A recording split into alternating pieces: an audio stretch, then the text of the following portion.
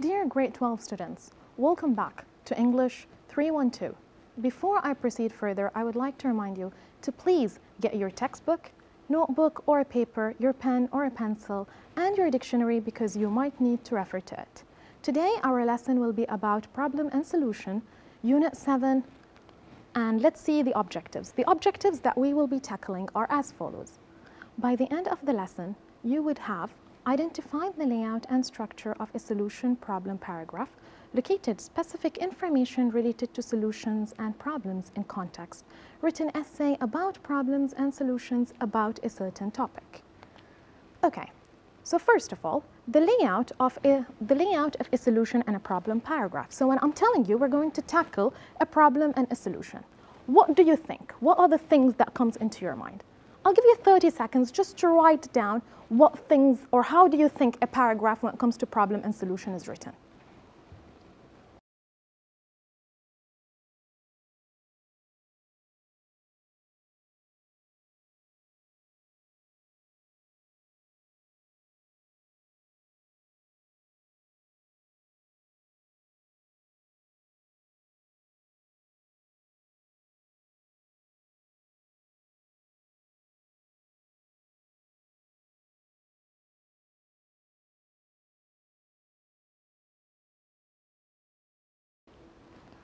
Okay, let's see all together. So problems and solution. Problem, solution, writing first explains a problem, then purpose one or more solutions to that problem. This type of writing often requires more than one paragraph. So when we talk about a solution and a problem, or a problem and a solution to be more specific, is that we usually start with the problem, explaining it, then stating what the problems are, and then the solutions. Now that requires more than one paragraph. So the real or first condition is a useful way to talk about both problems and solution. The event uh, in the if clause is possible or likely to happen. The event in the result clause would logically follow. The real conditions are the most common in writing about problems and solutions. So what we're saying here is that relate it to real life. When you're talking about a problem, link it to real, to real life, state the problem that is more closer to you, and then think about the solutions. So when we talk about a problem and a solution, there has to be a structure. We always know when it comes to writing a report or writing an essay, there is an order in which we follow. So the order for this essay would be as follows. We always start by the introduction. Here, when they said relate it to the real life, give me a background about the problem, state the problem to me, give me general information. Then, state the problem. Explain what are the problems. Get more specific. The explanation takes part. After you explain the problems, we usually have a second paragraph in which the solutions are recommended. So here you're telling from your perspective or from the research or from the facts what solutions can happen. In the end, summary and recommendations. So what happens here, introduction, a background of the problem. If it's real life, you do state when it started, how it started, why is it touching you, why is it a problem to you. Then you get to the mean. What is the problem? The solutions from your search. In the end, the summary of the entire thing with recommendations. Okay, so here, usually when we talk about the body, now this is the body as we know. So how do we link it? In order to serve these, problem, these problem, problems, it usually comes here. To meet this, one answer is a second, third, final answer. In order to overcome these problems, one solution is, one thing we can do is. So here, usually when you're going to write a paragraph tackling the solutions, this is what we write. Whereas if we're tackling the problems, you usually start with first, second, third. Okay, now this is the writing layout. What I want you to do is that I want you to read these sentences, okay? And I want you to just, I'll give you just a minute, read them carefully, and then I'll give my comment on them.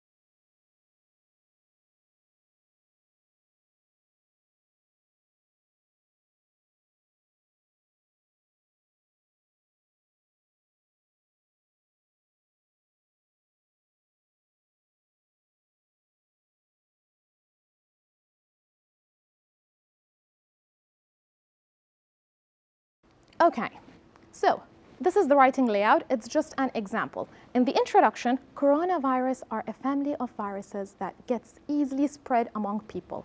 Introduction, background information, and then so on you continue. The problem, in the, in the problem paragraph, state the issue and describe it.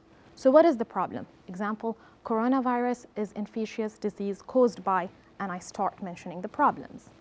Solutions, here I start naming the solutions. So we start by writing, in order to solve the problem, you can. If you wash your hands properly, you will. So I'm stating the solutions. Conclusion, you will, you will end it by summarizing the whole thing by asking them to fixate by following the instructions. So you're asking them to focus. In the summary, in the conclusion, in the ending, your, your main focus of the entire paragraph is mentioned here. If you follow these instructions carefully, you will and so on. Now, let's actually read the paragraph and try to reorder it based on these. So we have introduction, problem, solutions, conclusion. I'm expecting that you actually noted them, noted them down. If you didn't, do note them down. I'll give you another 30 seconds.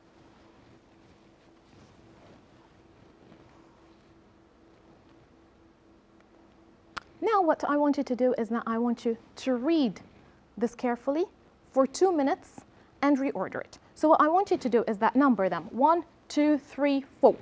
And write right next to it, number one equals the introduction, body, conclusion. If the body, which part, the problem or the solution. I'll give you three minutes to do so.